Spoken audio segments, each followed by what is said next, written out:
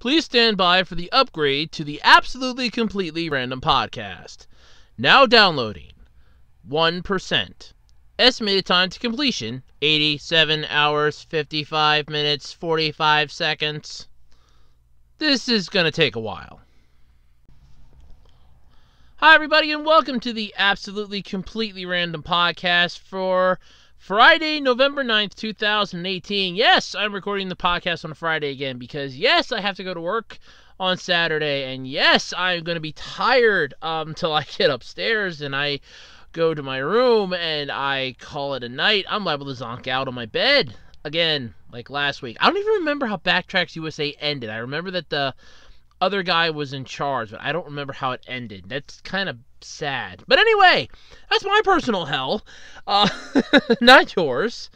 But anyway, what do I have in store for you this week? Well, I've been told I should have less topics and more discussion, and well, this week pretty much is giving me that without a doubt because there is not many topics this week. But I did manage to scrape some from the barrel of the great world around us including Square Enix canceling the Final Fantasy 15 episodes as the director has quit the company.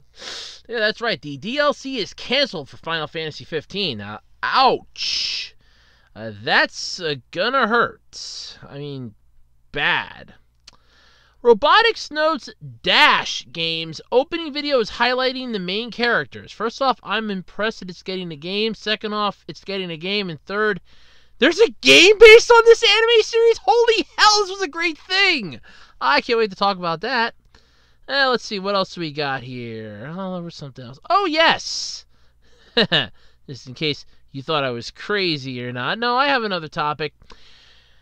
Um, and believe it or not, it's a Gridman topic because SSSS.Gridman has posted guidelines for fan works and announces a hug pillow cover and parka.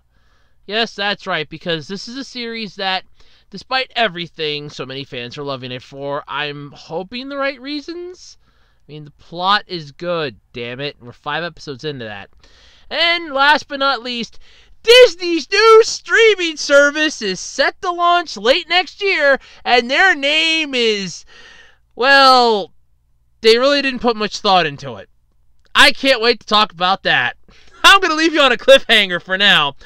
All that and more this week on the absolutely completely random podcast. But before we get into that, you know the song and dance by now if you've been here before. If not, this is the part where I do some selfless, uh, shameless promotional stuff here. Think like Spaceballs, the animated series, but uh, I'm just not saying Spaceballs every five minutes. uh, if you're in the market for oddities, weird stuff, collectibles, what have you, check out my eBay page. A R H O A D S hyphen 2012 on eBay. I got a wide variety of crap up for sale, including but not limited to movies, some DVDs, uh, trading cards, some weirdities, oddities, some toys every now and then. Just a lot of weird stuff. Uh, I am getting into like some uh, computer parts, things like that. I will be getting them up. I got a whole crap ton of Magic the Gathering cards that keep getting pushed back from my list for some unknown reason. I think it's mostly the fact that I got like over. I think it's. I think the last time I counted was just a little over a thousand cards. So that's taken a long time to catalog those little bastards. And believe me, I got plenty of notebooks to catalog to catalog all those. But holy crap! I mean, it's just taking a hell of a long time to catalog those. God knows I'm trying. Uh, I am trying because I'm going to catalog them first and then put them into uh, another program so I can keep track of everything. That's what I should have been doing from the start. But anyway, uh, wide variety of stuff, wide variety of other things. If you're interested, check it out. It's stuff's even good just for shits and giggles. Uh, gifts for the holidays that are coming up because, hey, you know, people like getting fun gifts. Especially those weird relatives that come around at Christmas and the holidays. You know, like Weird Uncle Ted or Strange Aunt June. Yes, you know, the weird ones that just come around and say hi all the time. They only come around once a year because it's convenient. And because there's free food. You know, those relatives. Yeah. Anyway, uh, if you're in the market for that stuff, check out my eBay page. Once again, that's A R H O A D S hyphen 2012. You can check the link in the description to take you right there. I've been putting it in almost every week. If I forget, just check one of the past podcast episodes. It's down there. I am getting forgetful. Hell, I'm almost 30 and I'm getting forgetful. uh, you can also follow me on Facebook on the official Web Designer 18 Facebook page. And don't forget to check out my official Twitter page. Yes, it's my Twitter page, actually, not one for the channel. Uh, you can follow me on Twitter at Otaku Roads, where I actually spend the majority of my time if I'm not in the virtual world. I don't know why, it's just more fun there. Alright, so uh, this is the part where I kind of bring everybody up to speed with what's happened during the week, at least uh, for me. So we all, you know, bond a little closer to one another. I, I kind of feel like you're all part of my uh, enlarged family, only you don't come bugging me for money. And you at least care about my opinions and my thoughts. Uh, so yeah. Uh, last Saturday I had to work because I recorded the podcast on a Friday, and then I got invited to an appreciation dinner where I was actually uh, asked to make a video. It was for my local fire department. Uh, it was just like celebrating their uh, last whole year. Uh, it was mostly pictures and some music. And honestly, if the person, and I believe it was the assistant chief, and I know my mom's gonna uh, correct me if I'm wrong on this, because uh, I, I, know she's going to correct me if I'm wrong, because my uncle's the chief. I believe the one that asked me was the assistant chief, but I know she's she'll correct me in the comments if I'm wrong. I know she will. But uh, he asked me back in I think it was August, I want to say, uh, if I could work on this video, and I got the stuff. I want to say near the end of October because he is getting forgetful in his old age, plus with everything that's going on with him. So uh, I did the video. I, I honestly thought it was pretty good, but as I'm sitting there watching it with everybody else, I'm thinking to myself, just feeling the room, it's like, oh God, they hate this thing. And I'm like, oh God, they hate it. Uh, I'm just like banging my head against the wall, like, oh my God, they hate it, they hate it, they hate it, they hate it, they hate it. And I'm like, oh God, this is going to be bad they were clapping like crazy at the end of it. And I don't even know if that was just because it was over or because they really liked it. But I got some kudos uh, and some, yeah, that was a really good job he did. Um, as I'm going out the door, following behind my mom and grandfather, not really, not realizing that my mom had a key to get into the house. Uh, I didn't know she had her key or not, so I'm like, I better catch up to them because I have the key. So I was kind of like quickly going through a couple people, you know, congratulating me. One guy was our local plumber, and I was kind of I really apologize. I should have apologized to him uh, for rushing out, but I was had wanted to catch up to my mom and grandfather. But it was an interesting night. Uh, some good food. Okay, some of the deli stuff was good. The chicken was a little dry, but yeah, it was an all right dinner. I hadn't gone to one in years for there. Uh, then the following Sunday morning, uh, this is fun. I wake up and I go out for the newspaper, and all of a sudden I'm hearing this like a strange noise, and it said it was crackling in the air. Something was crackling in the air. And for life of me, I had no idea what in the hell this was. I'm thinking, okay, maybe there's a light or something that's shorting out, and I just, you know, I'm hearing it. And I'm looking up, there's an electric pole uh, over by the fire company, and it's between the fire company and another building. And I'm looking, and I'm like, yeah, that's where the noise is coming from and I'm taking a really good list and I look up and I'm seeing this little spark. Just literally sparking and arcing a bit on the power line and I'm like, "Ooh, that's not good." I mean, it burned it burned the pole uh, after they after the electric company came out and fixed it. They burned it burned the pole. Uh, so I've been calling my uncle because I'm like, um, I don't know if this qualifies as I need to call 911 or if, hey, I just need to call uh, the electric company because I'm not exactly sure what this qualifies as, nor mostly I wanted to qualify is this an actual emergency or is this something that, hey, we just got to notify them, they just got to shut the power off to this one part. Uh, so he comes, he calls me back and he's like, okay, what exactly is it doing? And I explain it. He goes, I'll be up in 10 minutes. And I'm standing there. At this point, the birds started to chirp and there's a little more noise. And I'm like, oh, great, now you're not doing it anymore. I'm like, you son of a bitch. I'm looking up at it and I'm like, no, it's still doing it, just very, very, very faintly. So then he comes up and he goes, okay, where is it? And I said it's this little curly thing that's up there. He goes, okay, let's work up the pole. And along the pole, there's a, like a guide pole that kind of keeps it from moving around and stuff and where the extra wires are coming out because it goes underground. And I go, it's above that. He goes, oh, okay. He found it and he's walking up a bit. He goes, yep, Houston, we got a problem. And I'm asking him what it was. He explained it to me. And I'm like, holy crap. So we had to call uh, the electric company, which was fun because they're open on a Sunday apparently, but not until nine in the morning. And we're trying to call them. It's like six thirty ish, like six thirty going on seven in the morning. We're trying to call them. It's like, yeah, that's fun. Uh, got a hold of them. Did get, you know, we did finally get a hold of them, and they sent somebody out. They're working on it, and I thought it'd be nice when the guy showed up, and I'm like, yeah, I'm the one that called it in. And he just kind of looks at me and goes, Yeah, you got a blown fuse box up there. And I'm thinking to myself, okay, we kind of figured something was broken and we figured it was a fuse because of what it was. And it's like, okay. I just go I just go about the rest of my morning. I'm like, all right.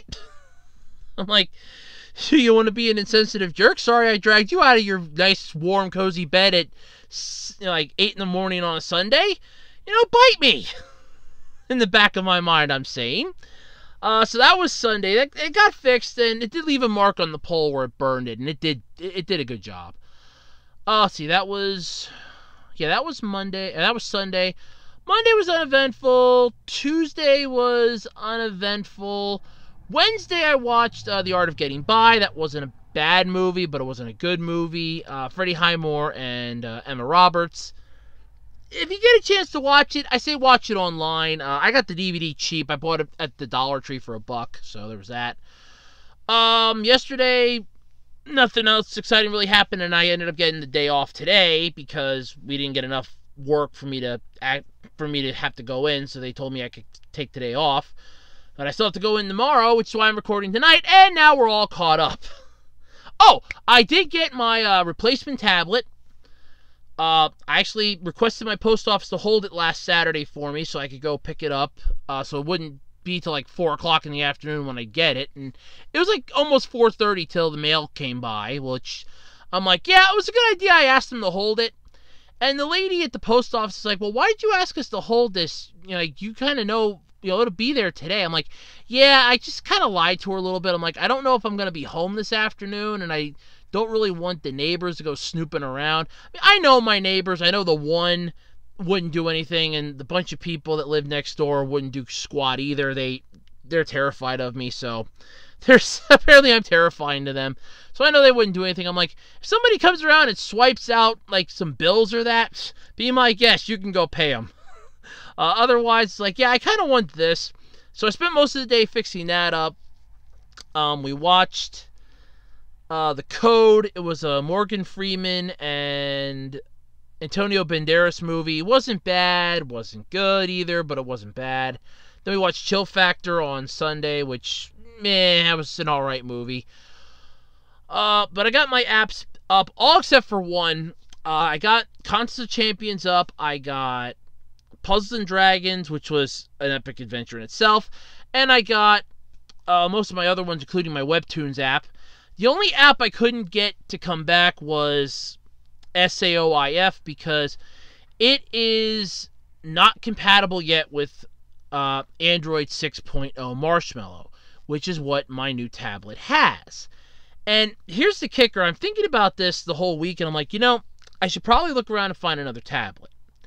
That way, in case this whole entire thing happens again, I'm not out a couple days on a, looking for a tablet. The one I got now, it's uh, Insignia Flex. It's a 10.1 inch. It's nice, but the I don't think you have a full gig of RAM. A lot of people are saying you don't. It's a 32 gigabyte uh, storage capacity. I like it. It works. But my games have a severe lag, and you can feel it, like when I'm playing Contest of Champions and Puzzles and Dragons.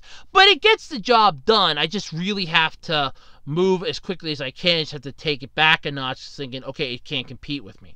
But all in all, it's not bad. Uh, but Puzzles and Dragons, I had to submit my uh, a whole bunch of information to get my account back because I never. I swear to God, I thought I linked it to my Google, but I never did apparently. So I had to submit my user ID, um, my five monsters that I use all the time, or five that are in my favorites list, which I have a lot favorited. So I just picked my main team, which I actually had down from left to right in the exact order they are because I see them all the time. Uh, the last dungeon that I beat, my rank, and everything else. I even told them who my best friend in the game was. So it's like, look, I can tell you everything about my account other than what my secret code is because I never wrote it down, which I did now, and I have it stored in a very secure place. Not to mention it's secured in two different places. One in a very, very, very tightly secured box, uh, where it's written down just in case I were to lose access to where the second one is. So it is safely secured.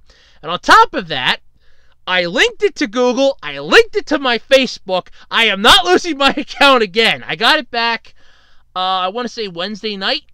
I got it back. I was ecstatic. It's all there. All my monsters, all my creatures. I used up the 100 magic stones that they gave us for the uh, neat little egg pool thing that they have, which I was planning to do anyway before all the crap happened with my old tablet. So either way, I am happy that my tablet issue is now resolved. Although I, like I said, I am looking into getting a second tablet, and I'm going to make my 10.1 the replacement one.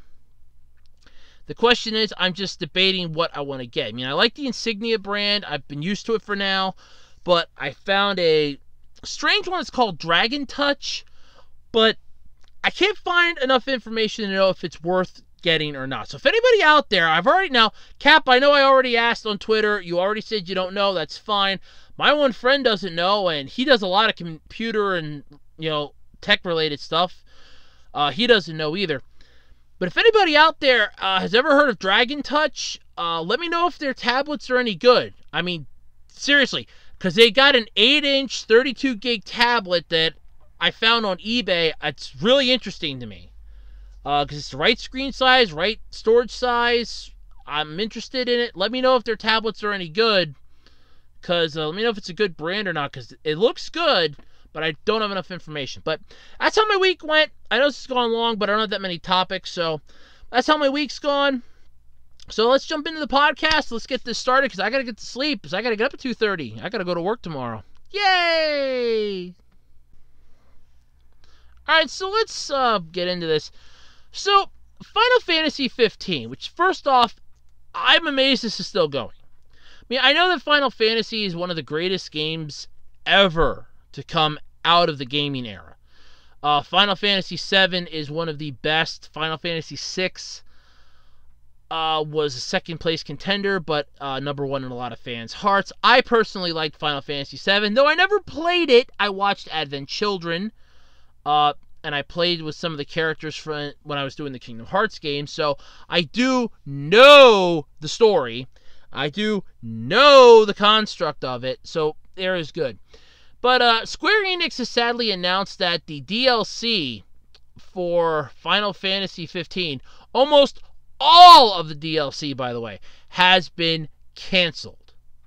And game director Hajime Tabata has left the company altogether. So, uh, Square Enix hosted a live stream on Thursday.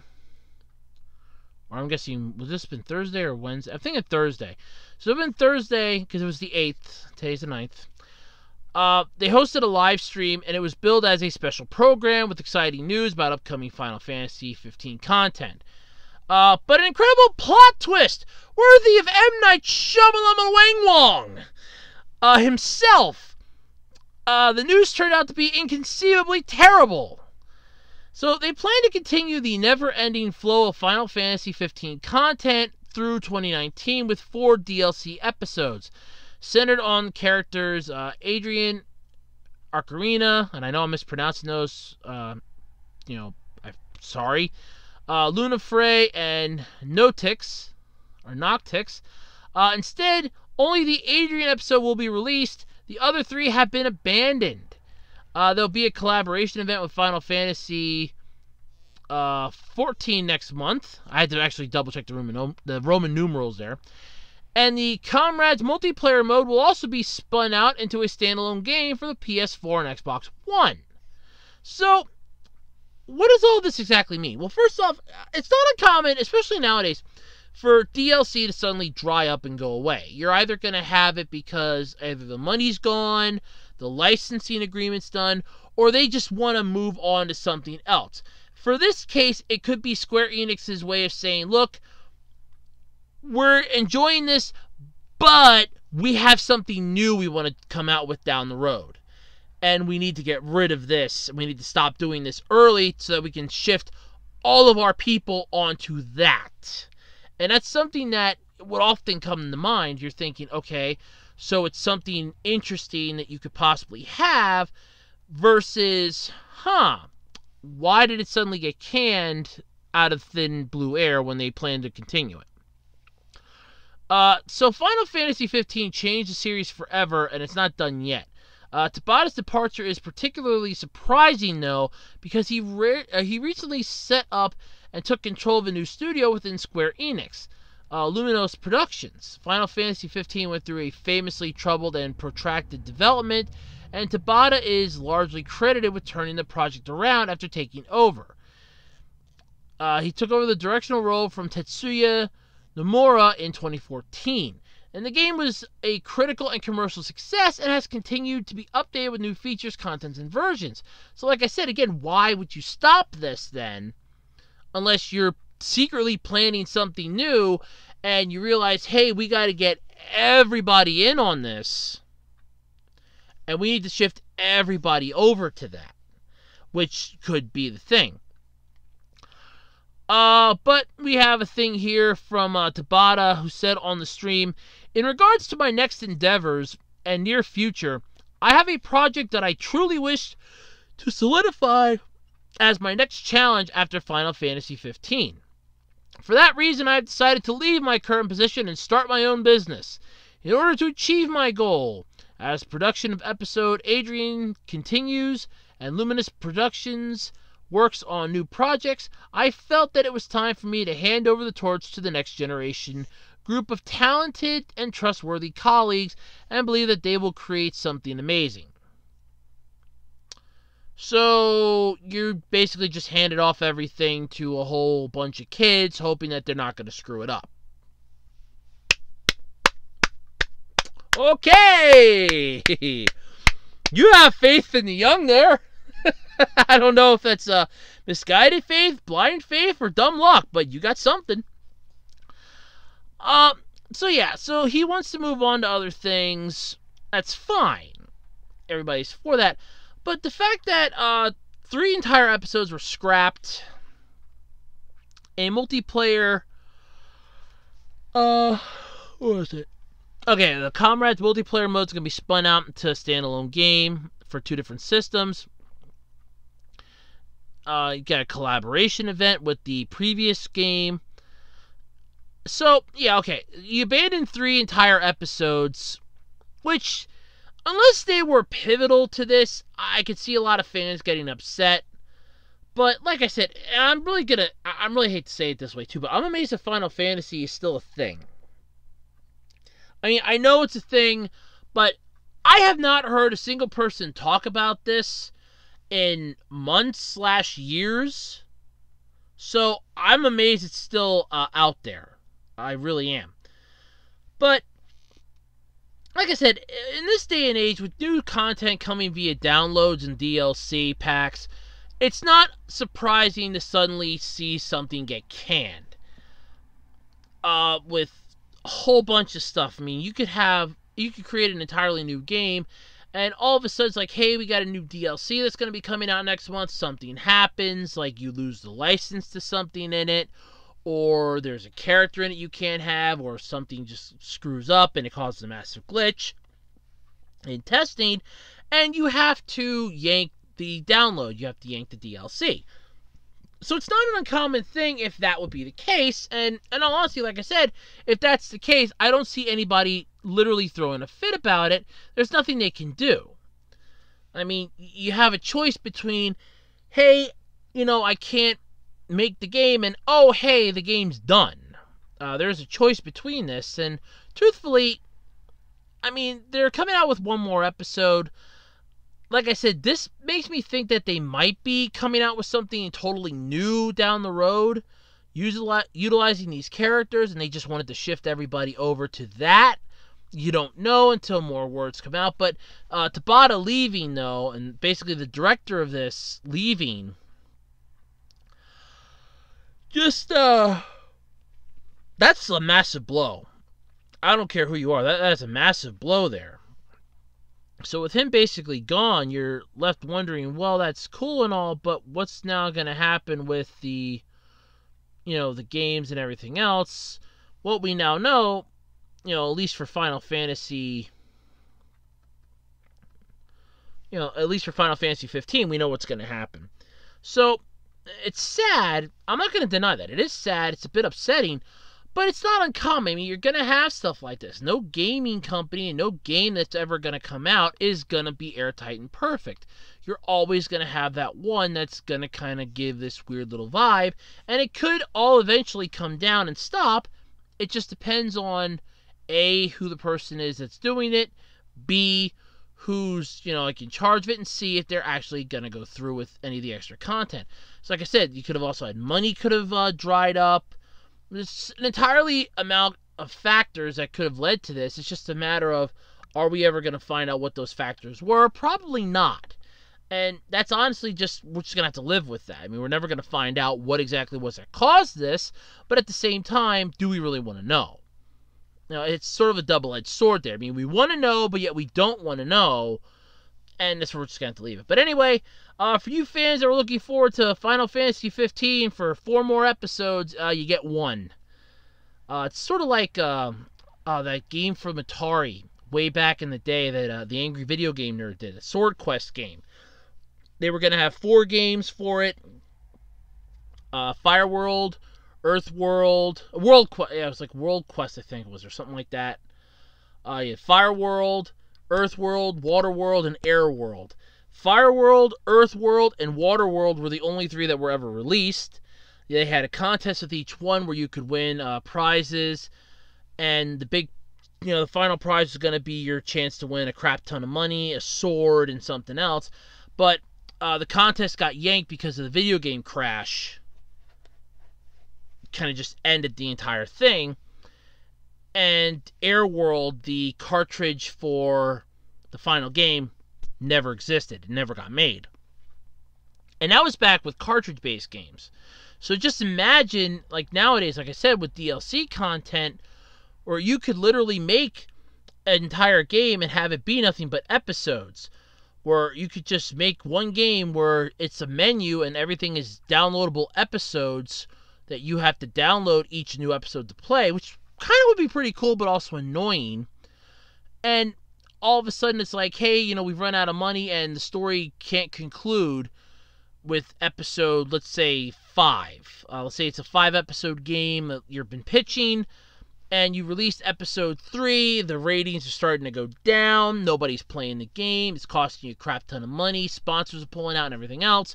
You're losing butt ton and butt ton and butt ton of cash. It's just flying out the window and all of a sudden it's like, you know what, screw it, we're done. Well, we still have episode four. Fine, put it up. That'll be the last thing as we start shutting down the servers. That'll be it. They can download it, they can have it, and that's the end of it.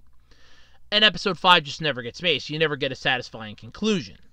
Now, I don't know how these uh, four games are going to play out, if they were all going to be interlinked to one another. I don't know.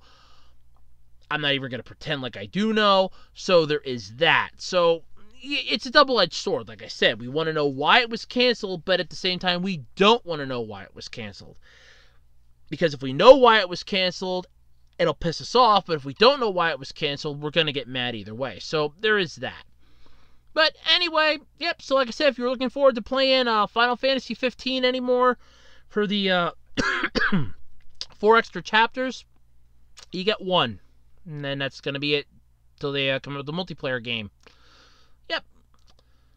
That's uh that's kind of sad actually. Okay, so way back a couple years ago, I came across this weird anime series called Robotics Notes. And it is that's exactly how it's called, by the way, Robotics Notes. It is interesting, it is cool. The plot was all over the place, but in a fun way. Uh, it had a very touching story. gripping underlying plot. I remember watching this as I'm sitting at my desktop in the dining room. Uh, my grandmother and grandfather are watching TV in the living room. My mom's working on dinner. I'm literally watching this online.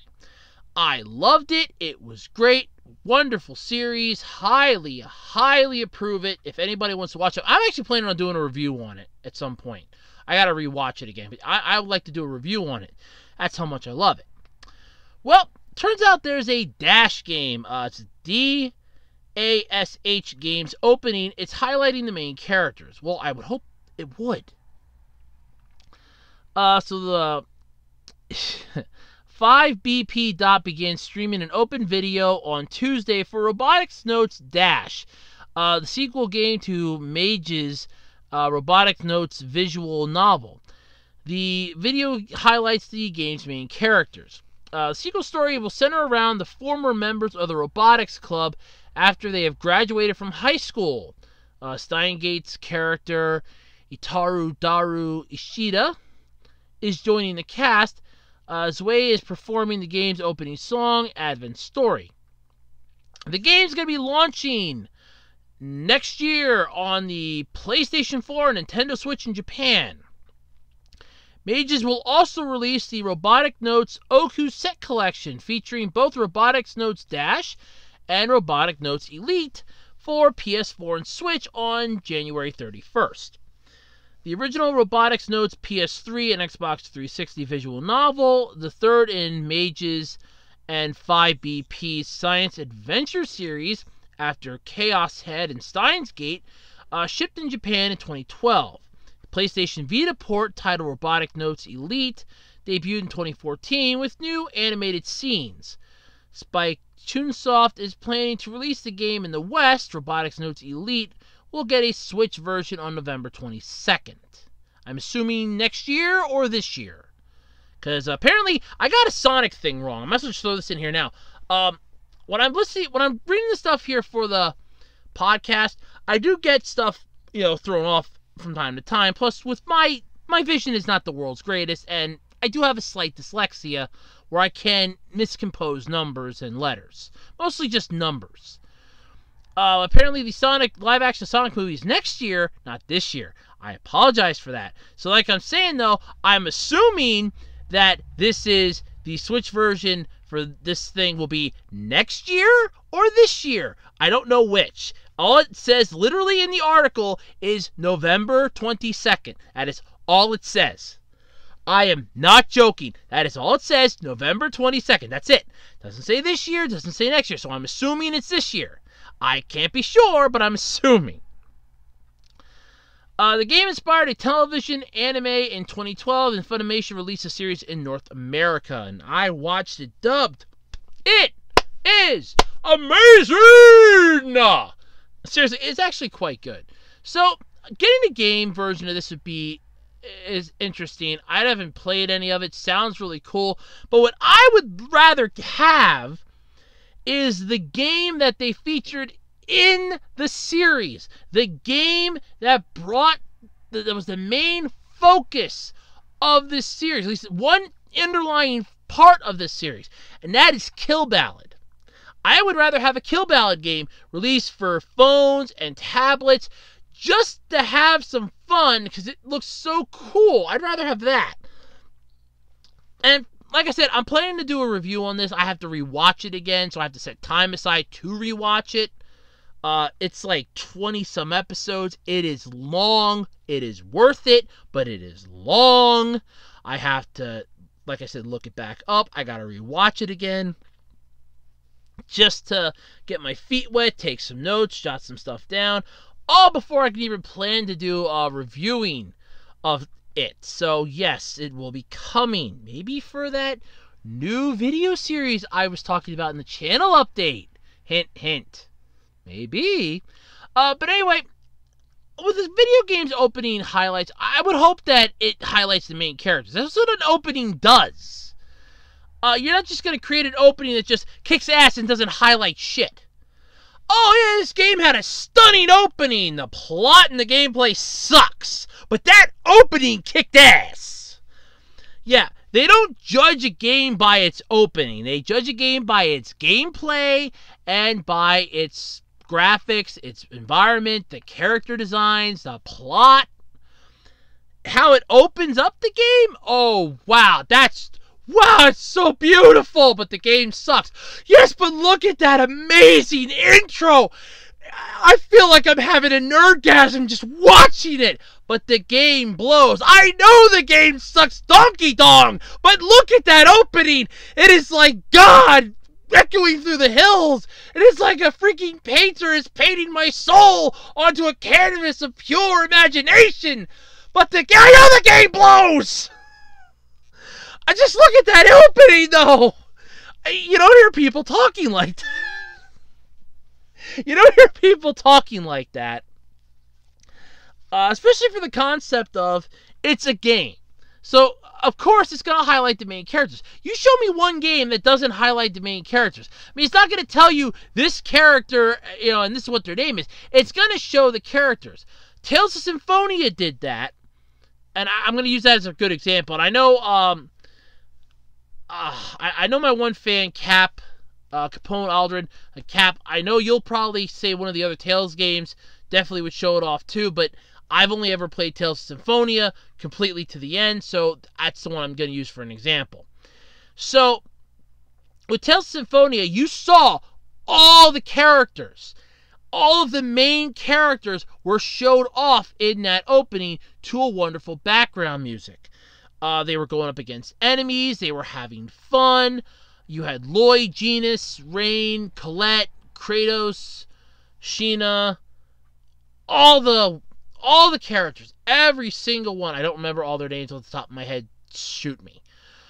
Um, but you had all those characters. They were all being shown doing their thing. You had like Lloyd taking on his father, which, by the way, big spoiler, it was Kratos or Kratos or however you want to pronounce it.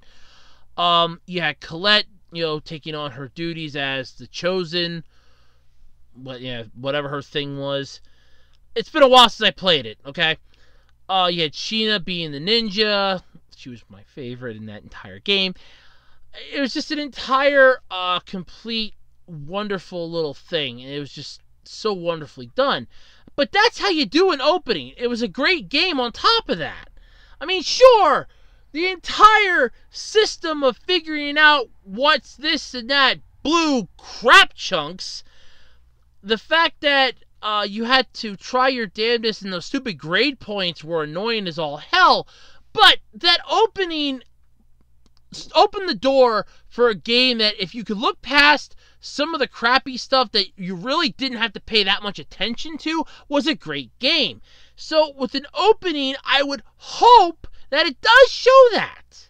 So it's showing off uh, the characters, at least the main characters. It's highlighting them, which is what an opening does like I said, I would I would be surprised if it didn't show off the, uh, the characters. That would be surprising because then that game either is great or it blows ass. And either way, it's not worth my time and effort. I mean, I can name a few games that I've played that had great openings and the gameplay and the game was just so goddamn atrocious. Um, oh god, what was that? There's one I played. Um, oh god, what was it? Uh, was it Arc the Lad? Did I play that? Was that Arc the Lad that I played? I'm trying to remember if that was the one with the. Uh, I'm trying to remember if that was it Arc the Lad that I played. I don't know. There was a game I played where it was two different fractions of people. Uh, one was like demons or something, and the other one was humans, and they ended up having to work together at the end. I could never beat it because I couldn't beat that final boss. I figured, screw it, it wasn't worth it. Then my PS2 died anyway. I think it was Arc the Lad. I don't know why. That just instantly came to my mind because then I remember getting the sequel and I didn't like it. I swear to God it was Arc the Lad, but don't shoot me on it, but I swear to God that's what it was. Uh, but you had that. The opening was good, but didn't really lead much into the game because the gameplay sucked ass. Um, it was well, it was a turn-based game anyway. So what do you expect? I mean, strategy turn-based games work only so well, especially on a console. You're better off with a real-time not turn based. It's only turn based works for some for certain things. Um, so, God, oh, so many others. I mean, but for like every good game, you're gonna have a whole bunch that are gonna have a horrible intro, and it, if it has a bad intro, well, the game might be good. Then again, the game could also suck. It's a crapshoot either way. But I just hope that a game is at least showing off what the characters are there for. I mean, they're there for a reason. They're not there just to be pretty and and sideshow attractions. They're there for a reason. They're there to make you laugh. They're there to make you happy. You're supposed to feel something looking at them like, I can relate to this character as you're playing the game. So I would hope it does that. But anyway, uh, hopefully it comes to the U.S.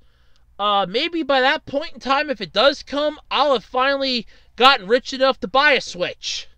Uh, maybe I'll finally sink down and give Nintendo money. Maybe I'll actually buy it, a copy, and play it. Who knows? But I don't know. It was a good game. It was a good series. Uh, but seriously though, I'd rather have Kill Ballad, please. Uh, that was a lot of fun watching them play that, and I want to play that. Or better yet, can we finally get a custom Robo game for the like tablets Nintendo? You, you have that Dragalia Lost, and I tried playing that atrocity uh, this week after downloading the update while watching the movie, and it honestly was stupid. And I uninstalled it. Could we get a custom Robo game?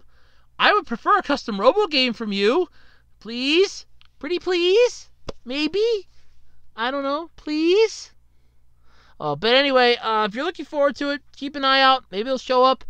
Uh, but seriously though, check out the anime. It's highly worth it. Even just watching clips is worth it. Seriously, it's a great series. Alright, so one of my favorite new anime of the season, Gridman. And this thing has been getting some slack um, for a wrong reason. Uh, I'm just going to say it right off the bat here. So, uh, some fans have been getting themselves a little too happy uh, looking at some of the female characters. Look, I know a lot of people will give Sword Art Online hell because of the whole Kirito harem thing. He never actually you know, you know, opened up and confessed feelings. He just made them feel like they were worth something. Okay? He didn't technically do anything wrong, so let's just get off of that train. And while we're at it, let's get off of this train too, because it kind of annoys me. There's more to this series than just, oh, look, it's a girl in a swimsuit. Oh, look, she's really pretty. Yeah, she is. Your point is what? I'm watching this for the giant freaking robot. Okay? well, anyway, the official website for SSSS.Gridman has posted.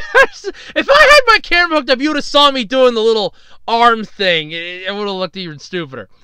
Uh, but they have posted guidelines for fans to follow regarding uh, derogative, derivative works a rough translation of the guidelines is as follows On the use of materials, it is prohibited to copy or trace any materials from production, such as images, videos, logos, musics, script, music, scripts, and so on.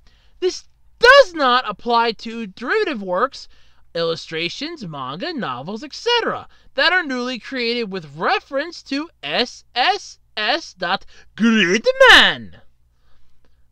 So, no shit, you can't trace anything. You do realize that there are people that trace things. And I'm going to say, because I've done this myself too, where you trace things to teach your hand the muscle memory to draw it on its own. See, if you trace something enough, you will eventually learn how to draw it. Then you can improve upon it because you will have learned how to draw it via muscle memory. So you'll be able to do it.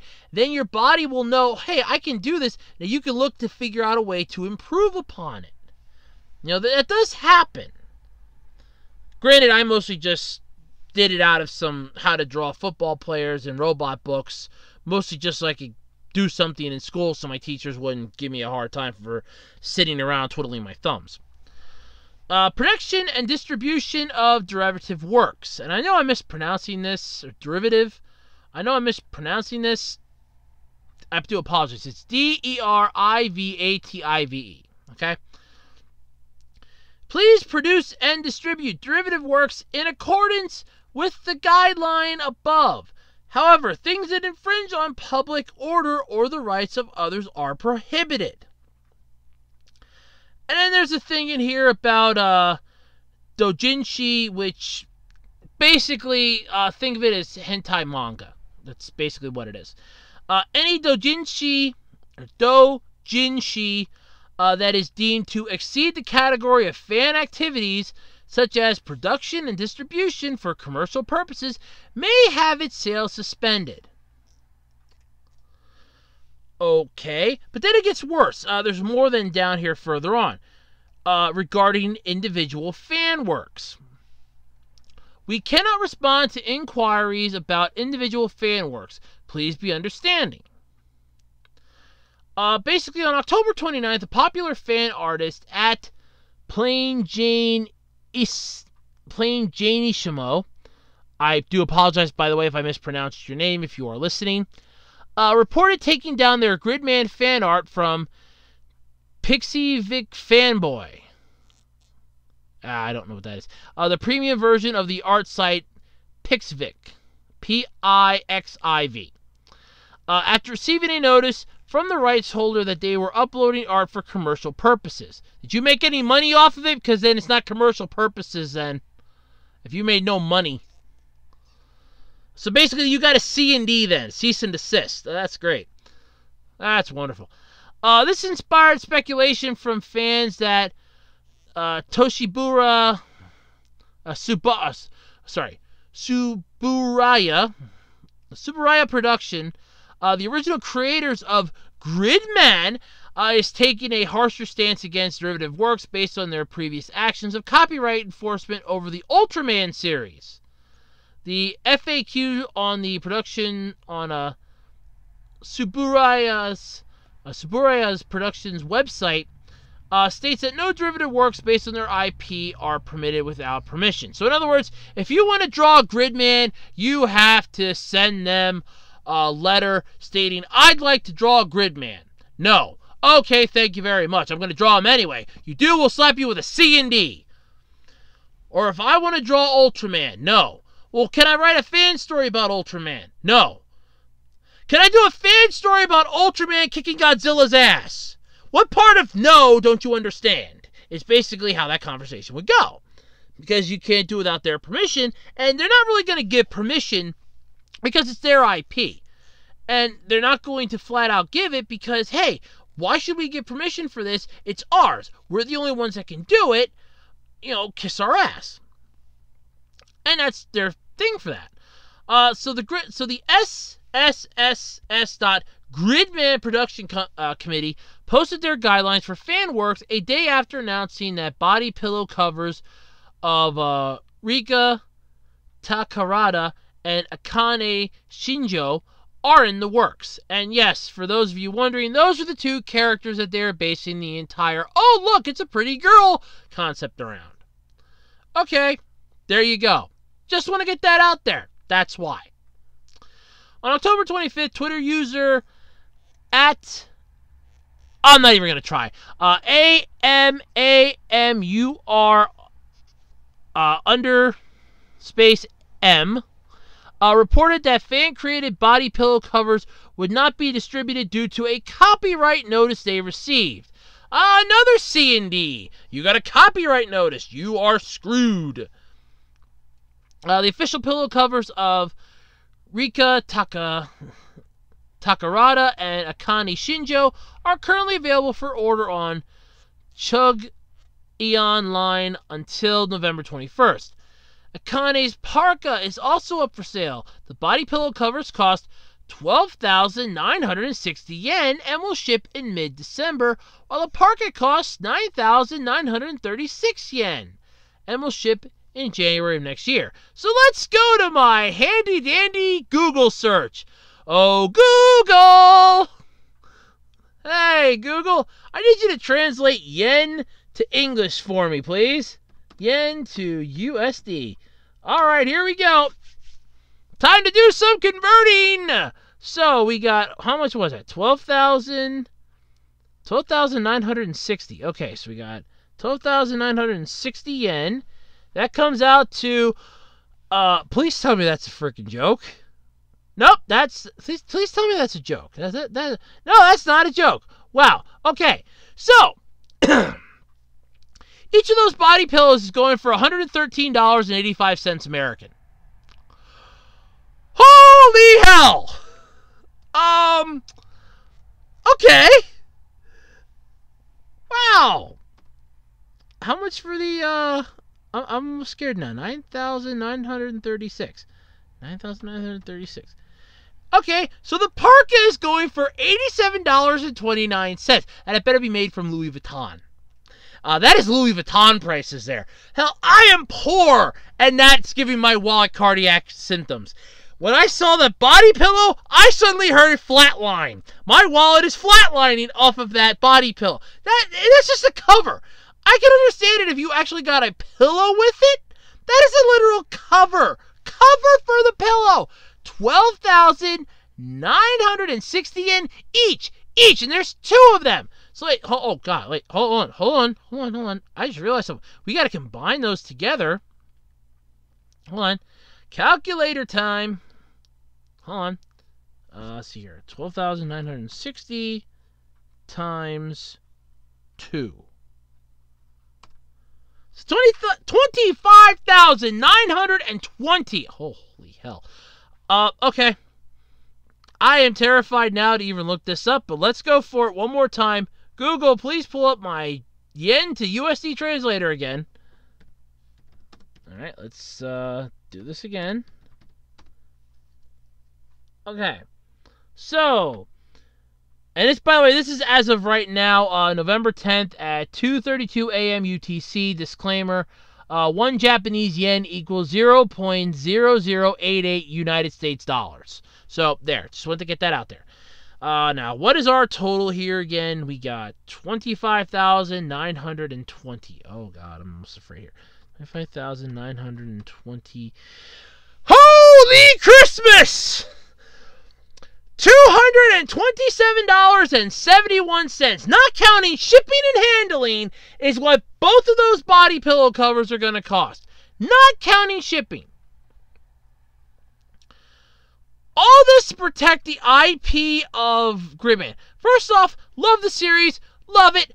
I swear by all that is holy, all five of them had better combine before the end of these 12 episodes, or I'm going to raise some holy hell. But you had 12,960 yen.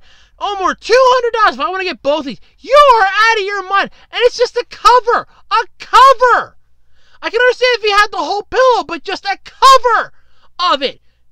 Jesus Christ, that's a lot of money. Holy crow. I mean, God. That's just outrageous. So, besides charging highway robbery prices for this entire thing, which, alright, let's face it, you're gonna have this. Um, let's face it here. You're gonna have this. It's gonna be a massive cost, you know, thing here. But besides charging highway robbery, you're sending out C and D letters, putting up a guideline list for fans that want to do fan art, fan stories, fan fictions, you're basically saying you cannot do anything with our product. With our IP, you can't do squat. Fine.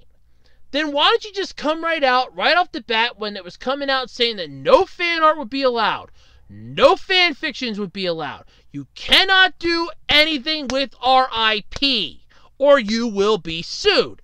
Copyright infringements, copyright notices, and everything else is literally you flexing your muscles. But you're sending cease and desist orders is pretty much following that.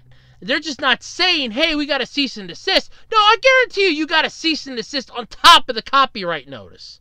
Because on top of the copyright, it's like, this is a notice saying that you have violated our copyright. And underneath it, I guarantee you, was this is an order to cease and desist any further operations.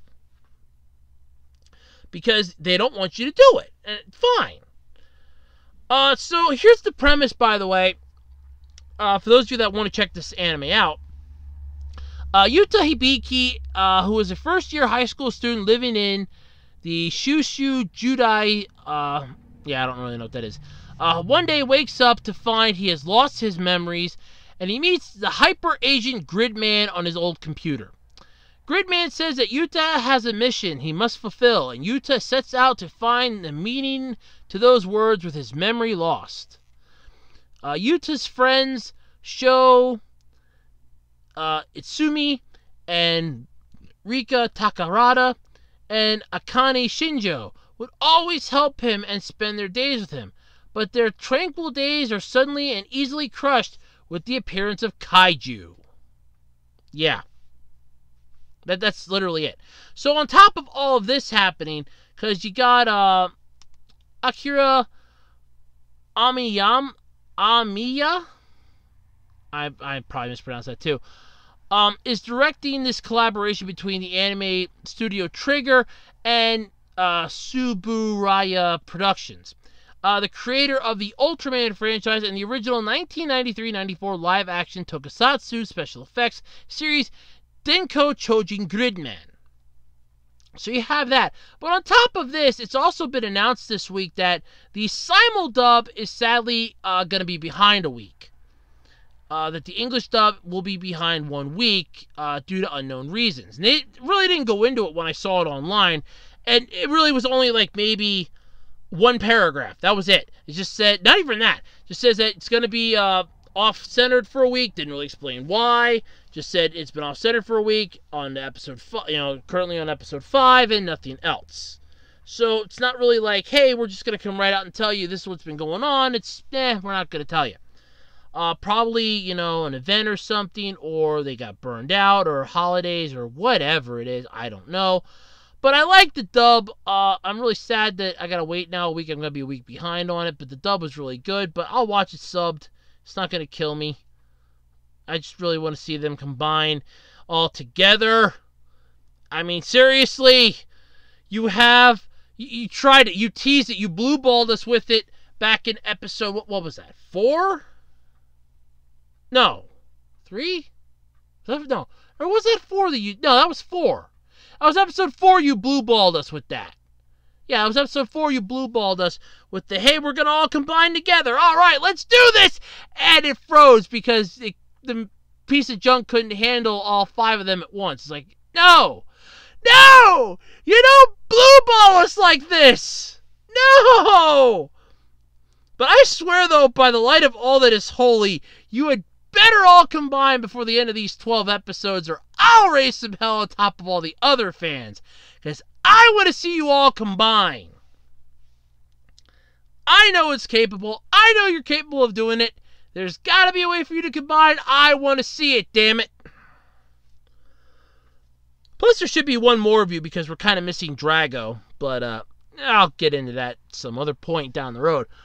But anyway, honestly, sending out cease and desist letters to me seems like a sort of a dick move because it's like, hey, you know, we want our property to stay ours. I get that. You want it to basically not be trampled on and screwed with. I get that too.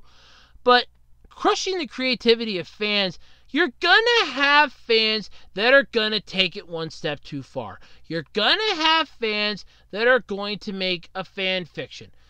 Every fan has done it since the dawn of time. There have been fan fictions for Dragon Ball Z. There have been fan fictions for Yu Yu Hakusho. There have been fan fictions for Aiken, for Robotics Notes, for uh, Death Note, uh, Food Wars, you name it, there have been thousands of fan fictions. In fact, if you look up anime fan fictions on a Google search, you'll be surprised how many search results you get and how many sites have them. I am not joking. Yes, some of them do get creepy. Yes, some of them are completely off the wall. But here's the thing they all come from a wonderful place. It's called a mind, an imagination. Sure, some people go a little crazy and some people have an imagination like a stuffed pig, but still, it's just an imagination. The fact that you are literally telling people You cannot have an imagination with our product unless you follow these specific guidelines. You're literally taking it that they can't create something utilizing their own talents and your character in a way that, you know, is a fan made prodigy. You're basically saying that they can't do this. So this would include, um, at least based off of what they've said here, it would include uh, any abridged series. So there goes like anybody ever getting a chance to abridge that because they will C and D your ass so fast on that now with this. Uh, you got that. You have uh, games like fan made games, uh, fan made comics. Anything is now off the win- off the door with this. But it goes, this does not apply to illustrations, manga, novels, etc. But what does the etc. count as? And then what's not to say that they're going to go down the road and say, nope, can't do this, it's our property. Nope, can't do this, it's our property. Nope, can't do this, it's our property. So you have a bridging series would be out because it would be images, videos, logos, etc. But illustrations would also uh, fall into that because they're images too. Because even though you're drawing it, you're drawing their image. So there is a fine line here between what they can get you with and what they're claiming they can't, where they secretly can. So it's it's really a stupid thing. It bothers the hell out of me. I'm not going to deny that. But all in all, there's really nothing you can do because they know they they can win. They have it, you know, that they can win. They know that there's nothing you can do to stop them. And it's sad. But either way, uh, Gridman's a great series. I like it. Uh, but this is a dick move. I'm not going to deny that. This is a dick move. Even by my standards, this is a dick move and you know it. I understand why you're doing it, but I'm just telling you, it's a dick move. Plain and simple, it's a dick move. So, hot off the heels of Netflix and everything else, you know that this was coming. Disney wants to make their own branded streaming service because, you know, they have their own TV channel, they have their own theme parks. They have an entire amalgam of lawyers that can scare the crap out of Cartoon Network and make Fox wet its pants, but they want more. Yes, they want more. They want their own streaming service, and it's set to launch late next year, and the name that they have chosen. Can I get a drum roll, please? Sorry about that. That's the only drum roll I could do that you would hear. The name is Disney Plus. Really thought out of the box and pressed right up against it on that one, didn't you, Disney? Wow, that must have been one great conversation for how to come up with that. That must have been a six day ball buster. We got to make 80 pots of coffee, bring in some fried chicken, get us some pizza. We are going to be here till we come up with a name. 88 hours later, have we come up with a name yet? No. Four days total. Why don't we call ourselves Disney Plus? All in favor of Disney Plus so we can get the hell out of here and go back home to our families. Disney Plus it is. Let's get out of here. I got a shower. I'm starting to grow mold under my armpits. I mean, it's just seriously. I mean, that is just oh god. Uh, but Disney chairman and CEO Bob uh, Iger uh, revealed the moniker with a fresh, with a few fresh details about plans for Disney Plus, as well as the fate of Hulu and its version and its version for Disney's enlarged television operation during a conference call to, uh, Thursday afternoon with the Wall Street analyst. The media giant, which is awaiting the completion of its $71.3 billion acquisition of key 21st Century Fox assets, X Men, Fantastic Four, all the other crap. I'm sorry, I, I, had to, sorry, I have some bad allergies lately. Uh, reported strong fiscal fourth quarter earnings. Uh, Elger, I, I mispronounced. I don't know if, how I'm pronouncing this right or not, but I'm guessing Eager. Uh, said the company is on track to launch Disney Plus in late 2019. Uh, let's see here. Uh, the company will host an investor presentation in April to offer more details and a first look at the service. On Thursday, Disney also launched a placeholder website to collect email addresses for prospective subscribers, you know, because they fear that nobody's going to, uh, well, what's the word I'm looking for here? Oh, yes, buy into this crap. Uh, the Disney Plus branding is keeping with the format established by ESPN Plus service that bode earnings la- that bode earnings this year. Uh, Iger said ESPN Plus has more than 1 million subscribers so far.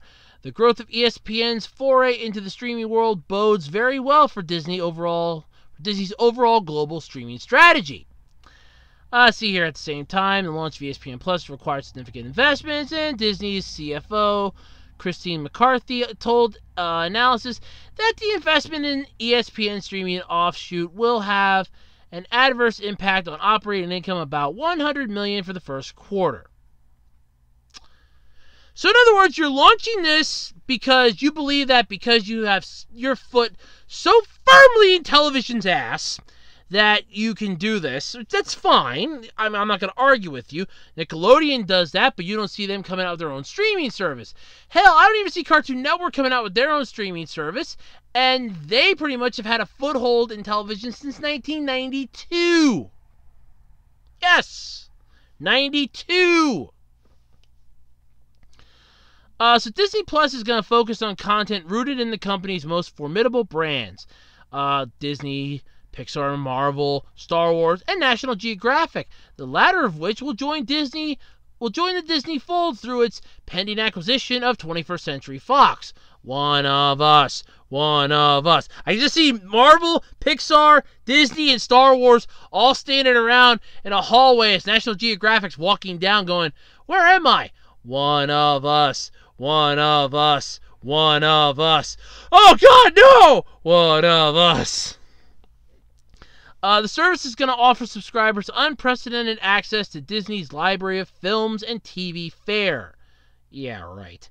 Uh, Disney Productions arms are revving up production of original content to stock up Disney Plus, including a new Rogue One related series, top line by Diego Luna and docu series and a docu series that he described as an unprecedented look at the inner workings of Walt Disney Imagineering. Oh, we're gonna see how the magic elves make all the fun, creepy robotics in Disneyland! Yay! Don't forget the fact that you're gonna be fighting Netflix to get your hands on uh, their Marvel properties that they're ditching to the wayside, like Iron Fist and Luke Cage. Uh, they're probably gonna be ditching Daredevil by the time you guys launch this piece of crap and Jessica Jones probably too, so you can get the rights to air all those. And you'll fight Netflix to tooth and bone on that, tooth and nail to the death. Uh, Iger also briefly addressed Disney's plans for Hulu, the streaming service that would be that will be 60% controlled by Disney after the Fox acquisition is complete. Oh my God, poor Hulu. I mean, I'm sorry. I mean, oh my God, poor Hulu.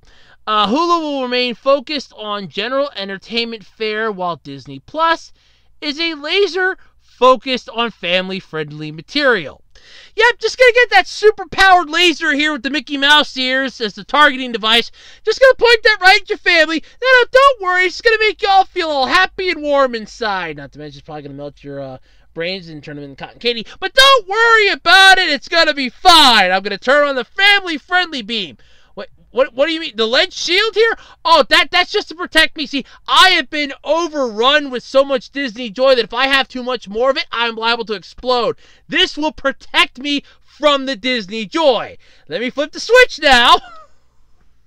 It's that's what they actually say. It's a laser focused on family friendly material. I don't even want to. laser focused. Okay. Okay. All right. Okay, we're gonna focus the laser. All right. All right, power up the beam. We're liable to need another ti- another Timmy after this, but power up the beam. We'll see if we can pump some Disney magic into this boy. Come on, everybody, full power to the Disney power. Family friendly go beam. Make him happy. Fire! Crap. Do we have another Timmy? the, the family friendly BB took up too much Disney. Uh, Edgar was pressed about, uh, like I said, the role of uh, Hulu's other shareholders, Comcast and AT and T. Basically, probably just gonna give them uh, the middle finger. Uh, but he made no mention of whether Disney will look to buy out the remaining 40% of Hulu. Yeah, bullshit. You're gonna probably buy them out. Look at AT&T, Comcast, and go, look, we own 60% of your sorry ass. We own Hulu. It's ours now. You want to stay? You either back up with us, or we just basically buy your asses out. Take your pick. Either way, we control you on this end. The two of you combined can't do squat. First rule of business, boys and girls, is if you own 51% of the company, you own the company because nobody can beat you at 49%. So the higher up your percentage goes, the lower their percentage goes, and the less they have to fight with. And I learned that from Yu Gi Oh, folks. Uh, Iger said Disney executives intend to meet with the other shareholders after the Fox deal is completed to discuss the long term plan uh, for investing in Hulu. Anything we do with Hulu will be done with an eye towards being fiscally responsible to the other shareholders, even though they are minority, even though they are a minority shareholder. Okay, they may be a minority, but they still own shares in your ass now. Uh, Edgar was pressed by uh, analysis on or analysts on how Disney will balance investments in the new streaming service with its traditional endeavors in content production and distribution via linear platforms such as ABC, Disney Channel, and Freeform. Don't forget, uh, don't they own uh, what was that one? Uh, they st- do they still own Disney XD? Did that finally? Are they not? Or do they no longer own that? Or did that go belly up? Because I saw that they own that too. Don't tell me they lost that. Or is that just a subsidiary of Disney now? Uh, he cited the strength of the assets that Disney is acquiring from Fox, as well as the new management team that will oversee the a large group of networks and studios, namely Fox's Peter Rice, uh, Dana Walden, and John Landgraf. If we create the television studio we aim to create, we're going to have an engine at the company coming from different entities. We'll be able to supply Hulu with lots of high quality content more than they currently have. The new regime will create a television business designed to service and service the present as well as the future of combined entity. What does that even mean? I mean, I, I could, you know, factor wonderful guest here is that you're basically talking out your ass, but I wouldn't know. But what does that even mean? Uh, but for all the emphasis on Disney's deep dive into streaming as it looks to take on Netflix and other global content marketplace, Edgar made it clear that Disney is not abandoning its established linear focus plus or its linear focus TV operations. Well, no, because you still owe all the people at 6ABC who say uh, 6ABC, uh, Disney is the parent company of 6ABC. You owe them all a dollar every time they say that, don't you? Uh, we don't intend to get out of those businesses or deprioritize them or sacrifice them. We also, uh, we're also realists. We see what's going on in the marketplace. We see the growth of new platforms and program consumptions versus channel consumption. Really?